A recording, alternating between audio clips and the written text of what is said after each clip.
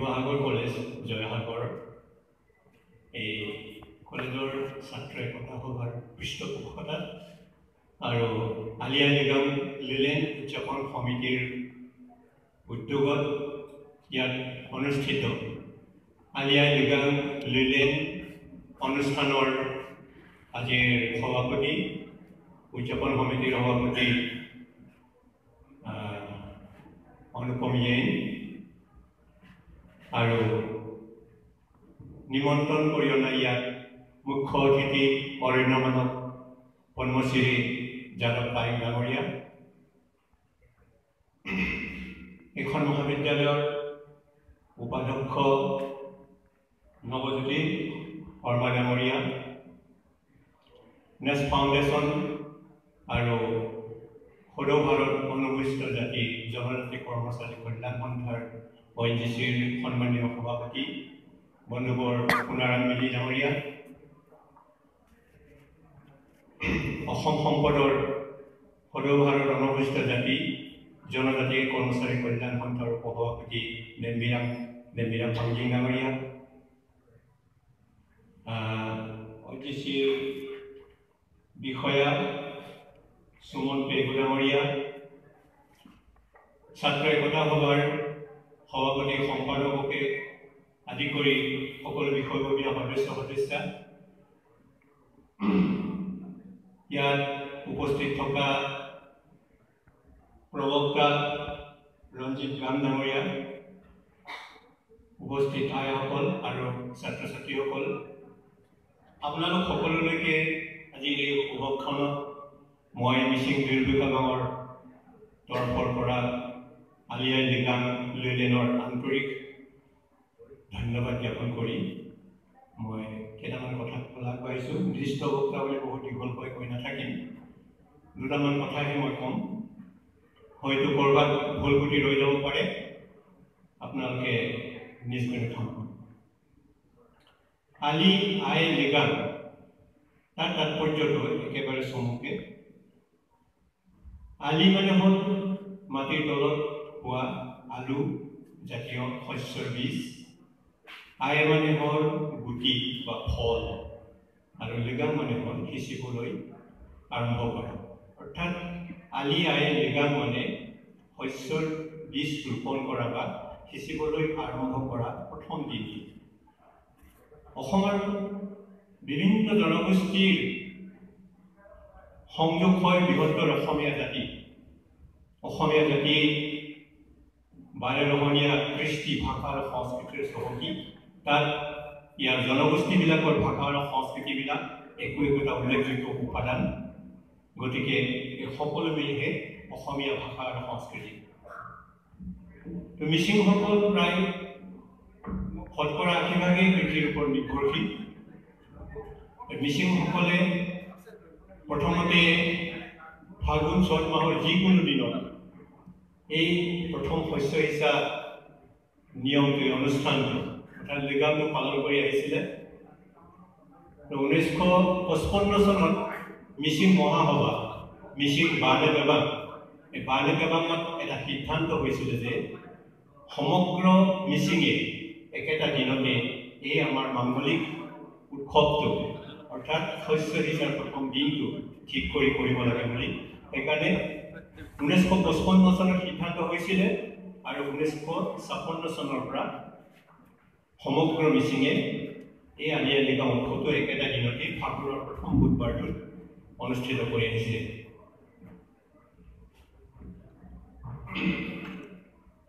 এই আলি আই লিগাঙত ইয়াত কেৱল ধানৰ কথা কোৱা নাই ইয়াত আলু জাতীয় বুলি ক'লে আমাৰ কচু আলু কাঠ আলু জলকীয়া আদা হালধি সেই গোটেই বস্তুখিনি পৰে কপাহলৈকে পৰ্যন্ত আৰু ধান। সেই গোটেই শস্যজাতীয় বীজবিলাক এই লিগাঙৰ প্ৰথম দিনটোত ফাগুনৰ প্ৰথম দিনটোৰ পৰা মিচিংসকলে আৰম্ভ কৰে আৰু বুধবাৰটোক মাংগলিক এটা বাৰ বুলি ধৰে আৰু পাঁচ সংখ্যাটোক এটা মাংগলিক সংখ্যা বুলি ধৰি আহিছে। তাকে মিচিং দীৰ্ঘজনৰ মতত সদৌ মিচিং সাংস্কৃতিক সংঘই আৰু ইয়াত এ, মানুহৰ মাজলৈ সোমাই দিবৰ কাৰণে আমি কাম কৰি আহিছোঁ।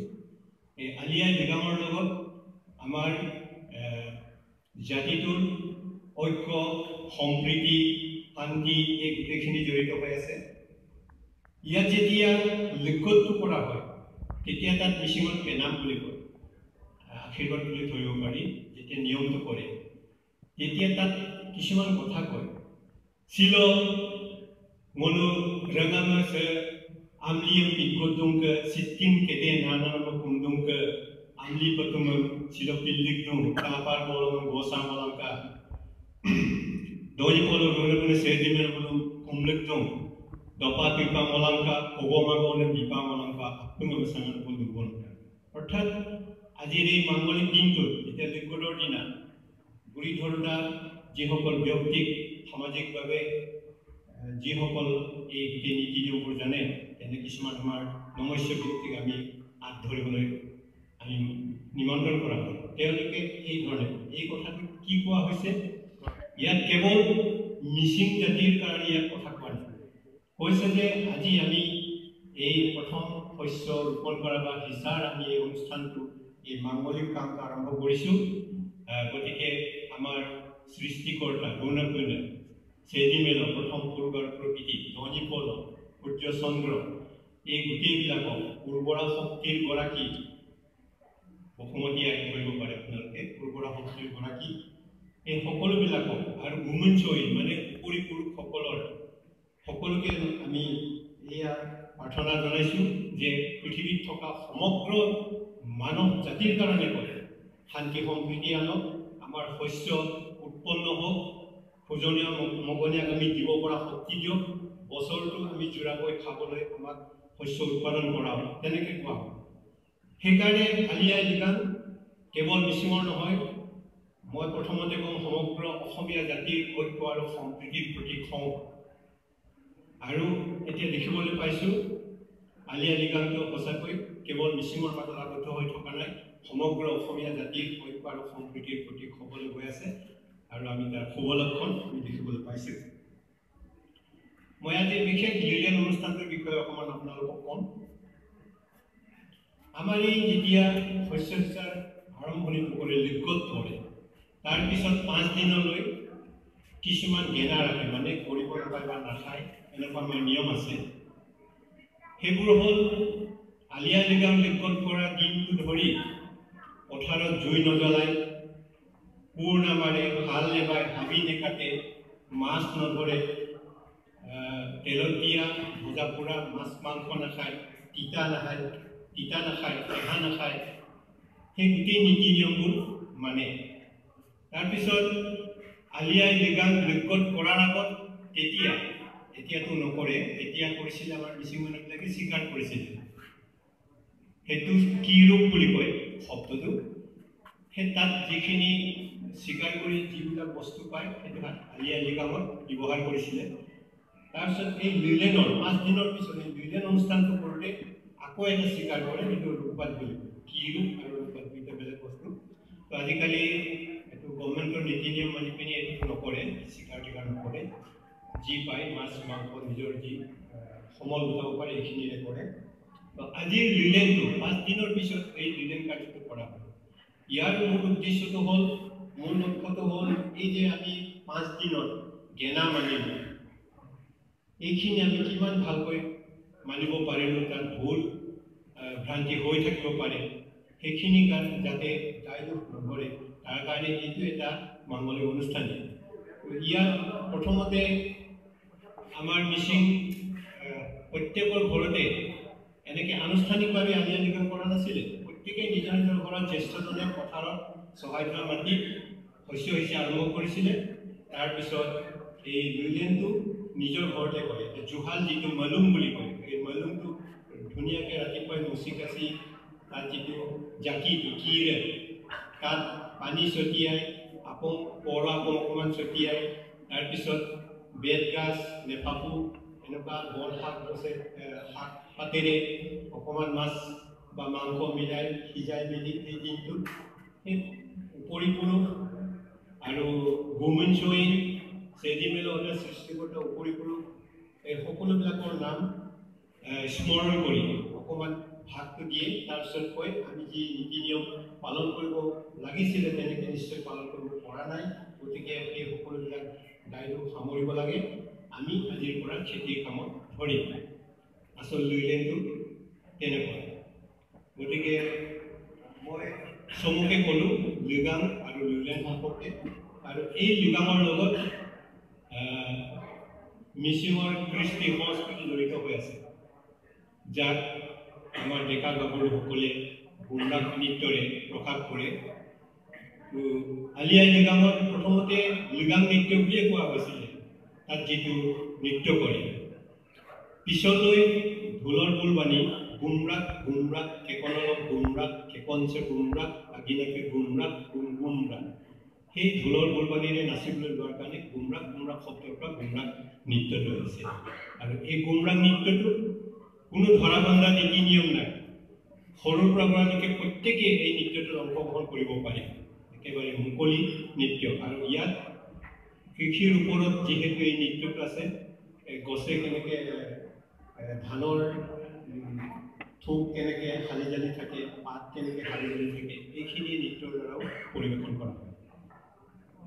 আজিৰ এই মাংগলিক দিনটোত শিৱসাগৰ কলেজৰ ছাত্ৰ একতা সভা আৰু ইয়াৰ উদযাপন সমিতি আৰু ছাত্ৰ ছাত্ৰীসকল লগতে শিক্ষাগুৰুসকলেও ইয়াত সহযোগ কৰি এনেকুৱা এটা অনুষ্ঠান ইয়াত অনুষ্ঠিত কৰাৰ কাৰণে মই তেওঁলোকলৈ পুনৰবাৰ ধন্যবাদ জ্ঞাপন কৰিছোঁ। যিহেতু অনৈক্যৰ মাজত ঐক্য আৰু এই অনৈক্যৰ মাজত ঐক্যইহে অসমীয়া সংস্কৃতিক জীয়াই ৰাখিব।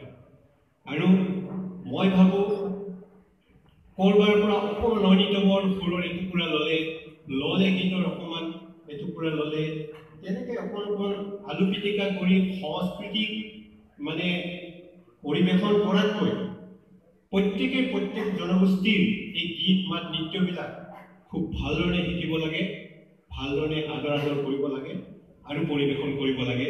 আচলতে তেতিয়াহে সমন্বয়ৰ সংস্কৃতি নহ'লে এই আলু পিটিকা কৰি সমন্বয়ৰ সংস্কৃতি নহয় ই বৰঞ্চ সংস্কৃতিক এটা ভাঙোনৰ ৰূপতহে আগবঢ়াই লৈ যাব। মই সকলোকে আহ্বান জনাইছোঁ আমি আচলতে সমন্বয়ৰ সংস্কৃতি গঢ়িবলৈ আগবাঢ়ি আহিব লাগে। বিশেষকৈ ছাত্ৰ ছাত্ৰীসকলে আজিৰ যিখিনি ছাত্ৰ ছাত্ৰী কাইলৈ দেশৰ ধৰণী আৰু নাগৰিক হ'ব। গতিকে এই ধৰণে এটা সমন্বয়ৰ সংস্কৃতি গঢ়িবলৈ ওলাই অহাৰ কাৰণে শিৱসাগৰ কলেজ জয়সাগৰৰ সকলো ছাত্ৰ ছাত্ৰীলৈ আৰু উদ্যোক্তাসকললৈ মই আন্তৰিক ধন্যবাদ জ্ঞাপন কৰি মোৰ নিজ চমুকাৰ চমু বক্তব্য সামৰি মাৰিছোঁ। ধন্যবাদ।